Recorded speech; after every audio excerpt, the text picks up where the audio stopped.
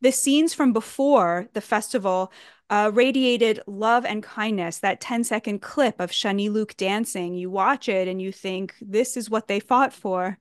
And then there's the image of Shani Louk on the back of that truck and the one of her being dragged through the streets of Gaza, thousands cheering and running after her desecrated body. Can you even imagine a starker contrast of good versus evil? It was joy, love, life versus violence, rape, and death.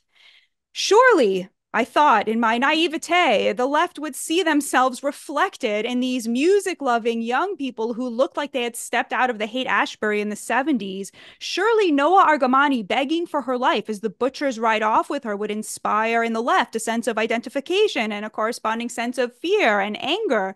How could it not? Friends, it did not. Leftist women found nothing in their hearts to say about it for months. There was a total failure of the international feminist community to stand up for the Israeli women who had been brutalized by Hamas in a particularly sexual way. Despite the preponderance of evidence, there was a code of silence from the usual suspects. Some would even deny it. YouTube personalities formed what I like to call an our Hamas would never brigade to defend the butchers and the rapists from the evidence of their crimes, insisting it was all war propaganda. It goes beyond that to the core of leftist which is built on a belief system that has erased the difference between right and wrong. Now, this belief system is one you will know well if you have been to a university in the last 40 years, or an American newsroom, or on TikTok, or in a meeting with any cultural institution in America, or any progressive organization, including any liberal Jewish organization, or if you're on the board of a museum, or even in a writer's room in Hollywood. People call it critical race theory or Marxism or social justice. I call it wokeness. Wokeness is when you take a worldview that was once based on the difference between right versus wrong, virtue versus, virtue versus evil, and you replace it with a worldview that does not distinguish between right versus wrong, but instead suggests that the world is built on the primary binary of powerful versus powerless. They ascribe inherent virtue to those they see as powerless and evil to those they see as powerful. And they superimpose some characteristic onto the binary, whether it's race or gender or sexuality or national origin or religion, rendering all people, for example, who they see as people of color powerless and oppressed and thus virtuous, and all white people powerful oppressors who are inherently evil and compromised.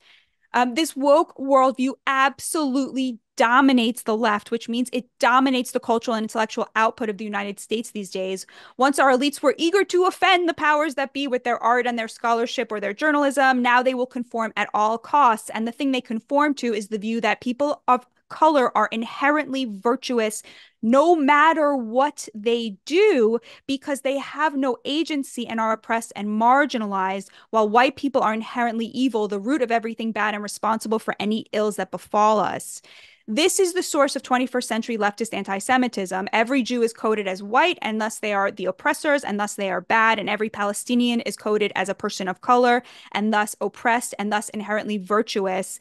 And that includes Hamas. Every Palestinian outranks every Jew on the oppression scale, and thus any Palestinian in conflict with any Jew is the one the left must side with.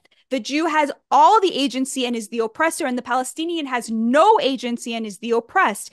Anything bad that happens between them must ergo be the Jew's fault because you cannot blame someone with no agency for anything. They are an innocent, like a child.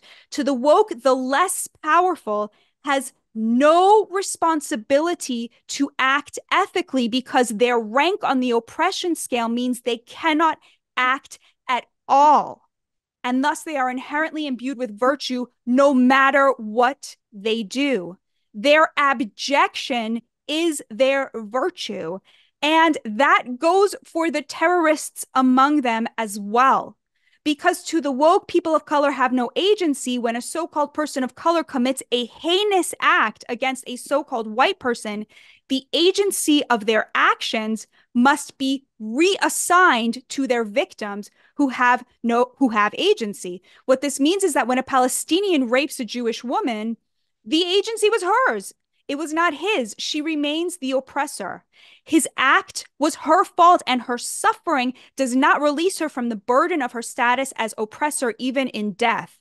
That is why leftist feminists cannot side with raped Israeli women to do so is to betray everything they believe. They truly see the Israeli women as deserving of everything that happened to them and having brought it on themselves. Like the conservatives of yore who blamed rape on the miniskirt worn by the victim, the left today blames the fact that Israel has more power than Hamas for everything Hamas does. They simply cannot think their way out of seeing Hamas as virtuous because to do so would be to admit that their entire worldview is not only wrong, but is fucking disgusting.